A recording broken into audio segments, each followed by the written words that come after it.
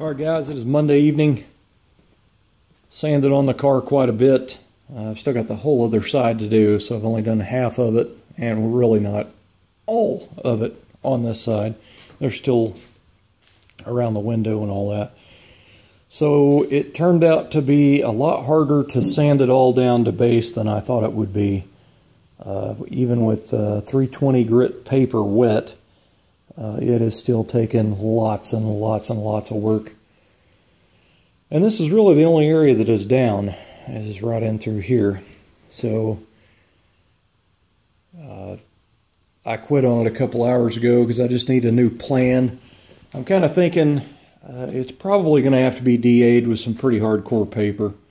And then at that point, it probably needs to be primed and then reblocked again it's just uh, there's a lot more clear on it than I thought there was, and uh, it's just going to take hours and hours and hours, days actually, to to try to sand this all the way to base uh, by hand with blocks.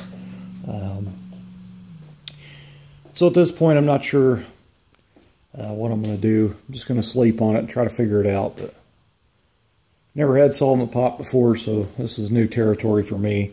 I really thought with uh, 320 grit paper wet that it would uh, sand a lot easier than that, but it's actually not. It's actually taken a lot, a lot of work.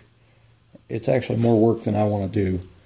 Uh, you know, I, I got arthritis in my hands real bad. I got it in my elbow, and it's when you do a lot of hand sanding, it it gets to the point where it just makes you want to grit your teeth, and uh, I was having a hard time holding on to the block. I still can't even uh, make a fist with my hand, So I'm going to be in tough shape in the morning, but I'm going to go ahead and try to get out here and get started on it.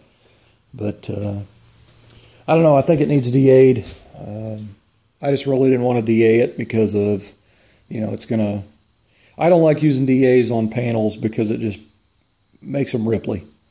And... Uh,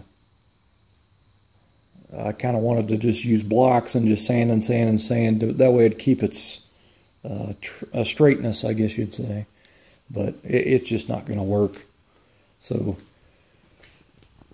the only thing I know to do is DA it. And the DA I have is a piece of crap. I don't have any DA paper. I'd have to go get DA paper. and So I don't know what I'm going to do just yet. So anyway, that's the end of day one. And not really the progress I was looking for.